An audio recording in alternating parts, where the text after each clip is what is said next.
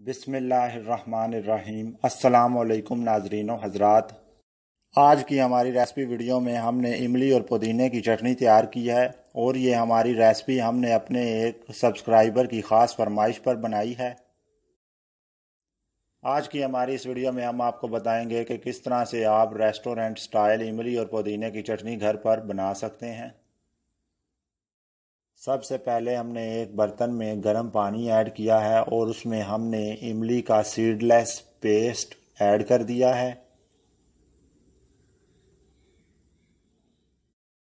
और इसके साथ ही हमने चार अदद सब्ज मिर्च ली है।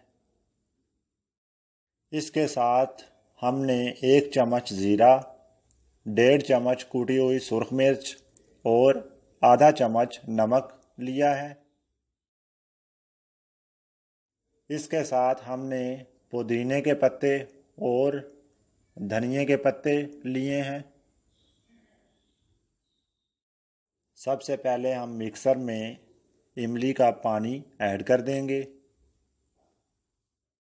अभी हम इसमें चार अदद सब्ज, मिर्च ऐड कर देंगे।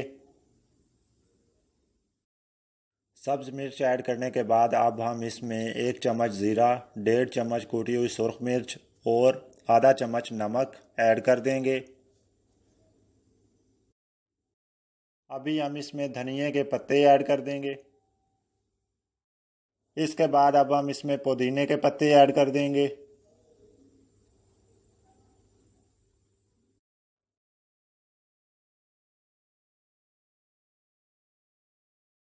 अल्हम्दुलिल्लाह फ्रेंड्स, हमारी रेस्टोरेंट स्टाइल इमली और पुदीने की चटनी तैयार हो चुकी है और ये बहुत ही मज़ेदार बनी है। आप भी इसे घर पर लाजमी ट्राई करें और बारबेक्यू के साथ इसे इस्तेमाल करें।